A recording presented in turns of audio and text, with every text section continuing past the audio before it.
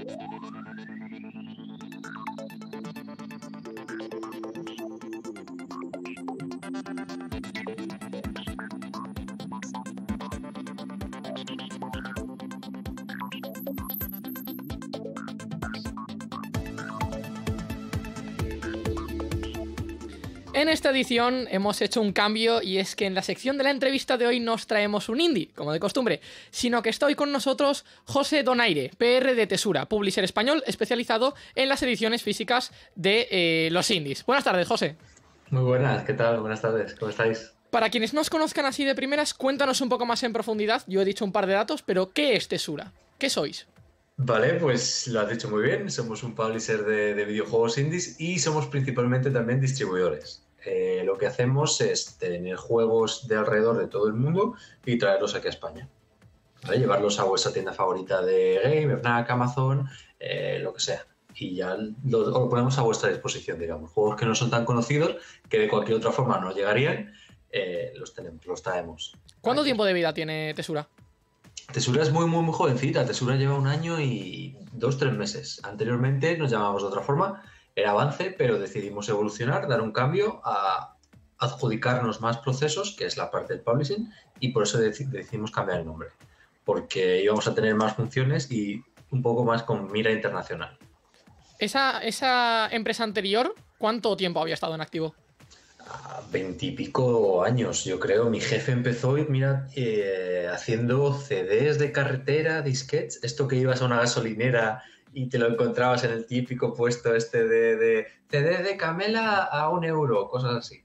Ah, pues empezó haciendo justo eso, eh, con, con, CDs, con disquets y con, con cintas de, de, cassette. O sea que mira si, si tenía tiempo, sí. ¿De dónde habéis evolucionado? Es decir, ahora sois publishers y distribuidores, me lo has comentado. ¿Qué hacíais antes?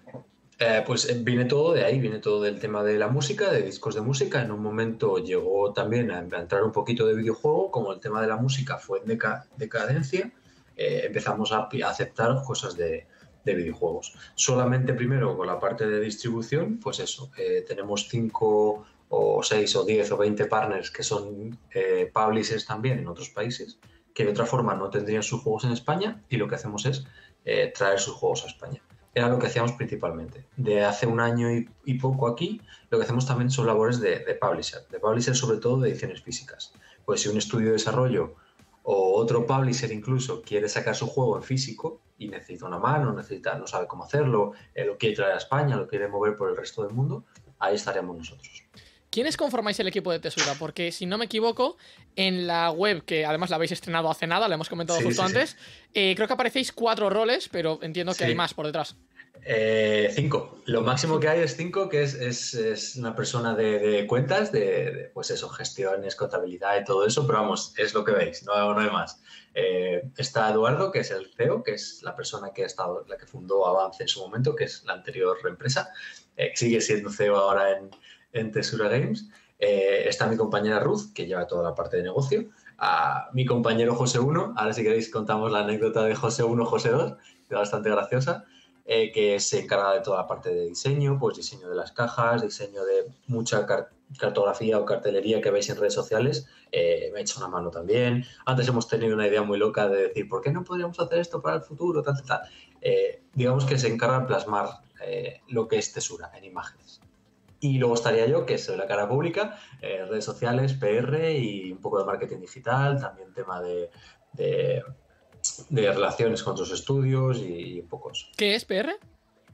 PR es relación con prensa, influencers, creadores de contenido, eh, la cara pública, digamos, lo que la gente suele ver si quiere contactar con, con, con Tesura. Oye, has mencionado una anécdota, no nos puedes dejar ahora con, interés. bueno, yo llevo un par de añitos aquí en Tesura. Yo empecé cuando estaba terminando Avance y eh, nuestra oficina tiene dos plantas. Y los Joses, que nos llaman los Joses porque somos dos, estábamos abajo, la planta de abajo, eh, trabajando mesa con mesa. Y Ruth y Eduardo, el jefe y la compañera, estaban arriba. Cada vez que pasaba algún marrón, alguna cosa, José, Claro, imagínate, se oía José de la planta de arriba a la planta de abajo, pero nadie sabía qué José era. En plan, y nos mirábamos él y yo, que sea para ti, que sea para ti, que sea para ti. Un día, de risa, dijo uno, y yo entendí, y él entendió que era él porque había llegado primero, y yo dos porque había llegado más tarde. Así que de ese momento José 1 y, y José 2. Así digamos lo que suele pasar, ¿no? Un poco en, en estudios superiores y tal, ¿no? En clase y demás, que hay tres personas con el mismo nombre. Madre Podría haber llamado Donaire o no sé, así que aquí estoy esperando que se jubile José 1 para yo heredar el, el, único papel de, de José. Eh, ¿Con qué estudios trabajáis? Porque sí que es verdad que hay indies, pero también he visto algo potente. Por ejemplo, el ejemplo claro por ponerlo, FNAF Security Breach. Sí, sí, sí, esa es parte de distribución. Eh, también tenemos, eh, hemos tenido Kena, que yo creo que es de los más, más, más potente con, con, con Emberlab. Eh, esos son juegos que nos llegan de fuera para nosotros aquí distribuir en España. Pues hemos tenido Street of Rage, hemos tenido Aleskin, hemos tenido mm, licencias bastante, bastante potentes. The Binding of Isaac, no sé si os sonará también. Binding of Isaac, el clásico de los, de los roguelike. Sí, pues eh, todos esos en España, si tenéis una copia, esos son trocitos de, nuestro trabajo. Y de, nuevo, esos son partes de la distribución. La parte de la publicación es distinto. Y aquí también tenemos estudios muy, muy, muy tochos. Españoles, pues seguro conocéis a, a Chivic Studio. Precisamente te iba a mencionar yo ahora. Claro, con The Game Kitchen estamos haciendo ahora la edición física de su primer juego que es algo que tenemos mucha, mucha, mucha ilusión. Luego Mango Protocol tenemos un montón, incluso nuevos que no tienen y no son tan conocidos. Eh, Elementalis, que es un proyecto que nació en Kickstarter, eh, vamos a llevar a cabo su edición física porque, porque nos gustó mucho, mucho, mucho el proyecto. Digamos que no tenemos nivel, nos tiene que gustar el proyecto y, y adelante. Eh, aparte de Tesura, ¿hay alguna otra empresa con la que también se suelen poner en contacto los, los estudios de fuera con la que vosotros tengáis algún tipo de colaboración, algún tipo de, no sé, compañerismo, por decirlo de alguna manera? Pues, eh, de otras distribuidoras, otras editoras, dices. Sí. Ah, yo te diría sobre todo, por ejemplo, las grandes, porque es verdad que no puedes hacer una edición física de Nintendo Switch si no tienes contacto con Nintendo. Igual con Play, igual con Xbox. Ese sería un muy buen ejemplo. Si llevamos a cabo algún tipo de relación, por ejemplo, con Kena, sí es verdad que llevamos, hicimos una campaña de, marketing de PR gigante y ahí sí estuvo también PlayStation por medio. O sea que sí se suelen dar, se suelen dar esos toques de, que estamos todos a una. Entiendo entonces que tenéis contacto con Microsoft, Sony y Nintendo, por lo menos. Sí, pero no solo a nivel español, sino ya te hablo de, mundialmente, claro. Tú tienes que contactar con Nintendo Global, con PlayStation Global y con Microsoft Global si quieres hacer una, edición para su plataforma. ¿Cuál es el proyecto más ambicioso que os han encargado? pues fue buena pregunta, no lo había pensado. Eh, yo creo que este año, es verdad que el año pasado tuvimos ediciones físicas y lo más gordo fue Summer Mara, porque fue así como de lo más potente, eh, porque le queríamos dar un toque muy, muy, muy, muy especial. Ah, y este año no sabría qué decirte. Eh, de la parte de distribución sí sabría, no te lo puedo decir porque igual me cuesta el puesto, que de hecho justo nos lo han confirmado hace dos horas y estoy todavía saltando de, alegría. Y te diría que nuestros propios juegos tenemos un, un line-up, tenemos un catálogo muy, muy, muy chulo para este año y con el primero de The Game Kitchen, a uh, Psycho de Baroque Decay también lo vamos a traer a edición física a nivel, a nivel europeo entero. O sea, hay cosas muy, muy, muy, gordas en camino, sí. Oye, ¿habéis pensado en hacer algún tipo de revista o algo para sacarlo? Que ya sé que la página web la tenéis nueva, pero ¿habéis hecho, habéis pensado algún tipo de revista, no sé, estilo GTM Restart o algo para, anunciar las cosas? Me pillas con esto, que es del año pasado. Pero esto eh, lo iba a llevar, esto también tiene una anécdota. Esto lo íbamos a llevar al, al Indie Dev Day, que fue en octubre, noviembre, si no me equivoco, del año pasado, ahí en Barcelona, y lo íbamos a llevar rollo, pues toma, esto es tesura, aquí tenéis, con lo que viene. ¿Qué pasa? Que os lo voy a enseñar. Eh, la coleccionista de San Mara, que ya ha salido, no estaba ni, ni, terminada. ¿Qué pasa también? Que estos tres, que ya están anunciados también, espero, sí. Eh, a ver, estos tres no estaban tampoco ni, ni anunciados. Ni mm. Zombie Night Terror, ni Regnum, ni, ni White Knight. Mm. el bombazo gordo de este panfleto, que era, que era Yuppie Psycho, tampoco estaba anunciado. Ya había cosas muy, muy gordas que yo no podía ir enseñando a la gente. Mira, te enseño cinco páginas, pero la sexta no, que, que, que hay spoiler gordo. Pero, pero sí. Y, de hecho con GTM hemos colaborado un montón también por llevar más impreso. Eh, hicimos una portada a Chris Tales, uno de nuestros juegos.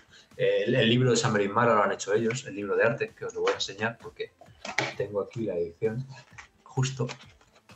Mira, este librito eh, se ha encargado a... El mini libro de arte, efectivamente. Sí, que es una miniatura del que hicieron ellos para el Kickstarter, el que hizo, el que hizo para el Kickstarter. Y, colaboramos parecería buena idea, tal. Ya lo tenéis hecho, sería mini, mini ¿cómo se diría? Miniaturizarlo, hacerlo más pequeño, miniaturizarlo. Ah, sí. sí. encantados, tal, y, aquí está eh, parte de su curro. O sea que esa, no hay, no nos ponemos barreras para nada. Y siempre que la cosa salga y salga así de bien, con equipos tan, tan guays y tan, el curro tan fluido y tan, y tan buena calidad que el resultado final, yo te diría así que, la edición especial de Saberimar es una de las cosas más potentes que habéis tenido a nivel, a nivel creación, porque sí que es verdad que trae como muchas cosas, ¿no? Sí, sí, sí, sí, es, bastante tocha, la verdad. Eh, siempre suelo quedarme con una de, recuerdo y, esta sobre todo queríamos darle un toquecito especial, eh, que es el diorama acrílico y la banda sonora también era muy, muy, especial, porque para el estudio era muy importante esa banda sonora y queríamos transmitirlo también al usuario final y de forma de agradecerle al estudio. Eh, siempre lo hacemos, siempre nos gusta, ah, siempre nos involucramos mucho todo el equipo con, todos los juegos. Ya que me comentabas eso, que sois distribuidores y publishers al mismo tiempo, eh, cuéntame cuál es el proceso de comercialización. Bueno, primero de, creación en físico, obviamente, de un producto y luego de comercializarlo. Vale, pues aquí igual me meto en terreno pantanoso. Eh, digamos que primeramente eh, vemos los juegos, aceptamos los juegos, edición física, eh, se decidirían plataformas, ¿vale? Por ejemplo, Xbox tiene muchos, muchos, muchos, muchos, muchos requisitos que a lo mejor a un estudio indie como nosotros, bueno, estudio, empresa indie de cuatro personas, muy, muy, muy, muy pequeñitos, nos crujiría sacar un juego solamente en Xbox por las condiciones que pone Xbox, no porque Tesura no quiera sacar juegos. En... ¿Algún ejemplo me puedes dar? Eh, te, puedo, no, te puedo llegar a decir cifras, pero sí es verdad que te puedo decir que para que Microsoft es la que más ah, barreras pone. ¿Vale? Ni, Nintendo ni, ni, PlayStation. Microsoft es la para la que es más complicado. ¿Pero barreras en qué sentido? Barreras en los procesos. ¿Vale? Como mucho, mucho, mucho más procesos, más dificultades, más pasos. Eh, Burocracia. sí, sí, sí, sí, sí. Y más complicado. Cinco correos, eh, eh, cuatro cosas que están ya controladas y adelante. Es verdad que PlayStation es la más fácil. El segundo paso estaría Nintendo y la más complicada sería, eh, Microsoft. Se sigue produciendo en PC. También tenemos un proyecto que trae unas poquitas unidades que son en físico para PC. Rollo Blizzard con la cajita de sus World of Warcraft pero no hay código. O sea, en Tesura te puedes olvidar de, de, códigos. Tesura tiene siempre su CD o su juego o, su cartucho, su Blu-ray, lo que sea. Fíjate que lo echaba de menos cuando, cuando le eché un ojo a la web hace poco, que sí que es verdad que la mayoría pues ya te pone arriba la, la plataforma. Hay algunos de Switch, hay otros de Switch PlayStation, Switch Play con Xbox, sí que es verdad que he visto poquitos, me había extrañado. Pero me faltaba eso, las ediciones físicas, yo entiendo que habitualmente vayan para consolas, a fin de cuentas es donde mayormente te interesa el disco, porque de otra manera te compras un juego por Steam, te lo compras por Epic, lo tienes en todas las plataformas y para adelante. Pero, pero sí que es verdad que me faltaba también el tema de volver un poco a lo retro, lo antiguo, con los discos, pero al mismo tiempo con las... Habéis visto, hablando de volver a lo antiguo, eh, una edición que hemos anunciado ya va a tener una coleccionista que está inspirada, fuertemente inspirada en, una consola, de, en un juego de, Nintendo 64, eh, que es la de Regnum Fantasy of Dreams. Eh, pues esas cosas nos, nos, flipan hacerlas porque sabemos que, molan. Muchas veces hemos cogido eh, feedback de la comunidad para, crear las ediciones porque de verdad es muy, muy, muy buena idea y hace ilusión y gusta. Y fíjate que no hay mucha gente tampoco que sea así. Yo entiendo que además es un trabajo muy importante porque los indies al ser estudios pequeños, la, simple idea de sacar un juego en físico está descartada completamente, porque no hay capacidades para ello. No hay dinero, no hay publishers, no hay, no hay nada. Entonces, el hecho de que vosotros vengáis, cojáis a los pequeños y digáis, va, os acogemos, es algo verdaderamente muy noble. Es una inversión, de la parte de vista de negocio, de la parte de vista pasional, porque es verdad que todos los que estamos en el equipo nos dedicamos a esto, nos flipa, y, sabemos la labor de, decir, ostras, por ejemplo, Game Kitchen, que tengas tu Blasphemous en, en físico porque haya petado, porque sea un juegazo y tal. Pero eso de decir, vamos a pillar tu primer juego, que es como la base en la que se asienta todo el estudio, un juego muy, muy, muy, muy único todavía, el padre de Blasphemous y hacer la edición física nos, nos mola. Desde la parte de vista de negocio, es un desembolso. O sea, es, es digamos es una apuesta. Claro, es, exactamente eso, es una apuesta. ¿Qué hacemos? Pues vamos a ver cómo, cómo funcionaría. ah, apostando también, se, puede ir a lo seguro y puedes ampliar la apuesta. Que es lo, por lo que, por ejemplo, vamos a hacer con un juego que ya tenemos. Y te iba a soltar el nombre, pero menos mal que no te lo he soltado. No, no me lo puedes decir. Ah. No, no te lo puedo decir porque no está anunciado. De hecho, está recién, recién, recién, recién firmado. Pero anunciado está. Eh, hemos apostado, digamos, que a una y vamos a subir la apuesta a, a cuatro. Uh. Pues cuando, lo tengamos, créeme, créeme que lo anunciaré. No te preocupes. lo sabrás, lo sabrás porque le queda poquito, le queda muy poquito eh, para, para, anunciar. Justo ya que me comentabas el tema eso de la apuesta y el riesgo que supone, ¿cuál es la situación actual de los publishers en general, tanto de los grandes como de los pequeños en España? Pues yo diría que en general estamos viendo una tendencia, es verdad que al físico va cada vez a menos, eh, por, depende de la plataforma también, Xbox sí se nota, se nota mucho, eh, salen juegos en físico para Xbox y se quedan en la estantería. Aunque luego tengas a la gente en redes sociales, sí, me lo sacas para Xbox, te pillo 100 unidades. Eso no es, luego no es cierto. Claro, la cosa está en el tema del Game Pass, del Live Gold, de toda la relevancia que le están dando a lo digital. Claro, que no estamos en contra del Game Pass. Yo tengo Game Pass. Incluso pienso y pensamos que el Game Pass ayuda a, luego comprar en físico. Tú juegas un juego que te flipa en Game Pass, eh, sabes que Game Pass va a, a, caducar, que te lo van a retirar lo quieres quedarte en físico, porque te lo quieres terminar, jugar a tu rollo, lo quieres en la colección o cualquier cosa. O sea, es incluso complementario en algunos sentidos. Y de hecho, muchas veces lo quieres como especial, con su steel case, con sus cositas, ahí es donde entran las ediciones especiales. Claro, muy buen ejemplo es Infernax, que sale hoy justo. Eh, eh, está en Game Pass, llevan Game Pass tres días, la gente le está encantando y, y, nos hemos visto que las tiendas están pidiendo más Infernax porque, porque se están quedando sin ellos, porque está gustando mucho más de lo que, de lo que esperábamos. O sea, no es para nada un rival, pero es verdad que no se compra tanto físico como antes. Pues ahora ya para ir terminando, vamos a hacer la jugada ahí del siglo. Eh, describe Tesura en un minuto. Ostras. Tu minuto de oro. Eh, venga, va, cuando queráis. O empiezo ya. Dale, dale. Ya, vale, pues eh, Tesura somos publishers eh, de ediciones en físico, somos también distribuidores de, videojuegos en físico eh, en España y en el resto del mundo.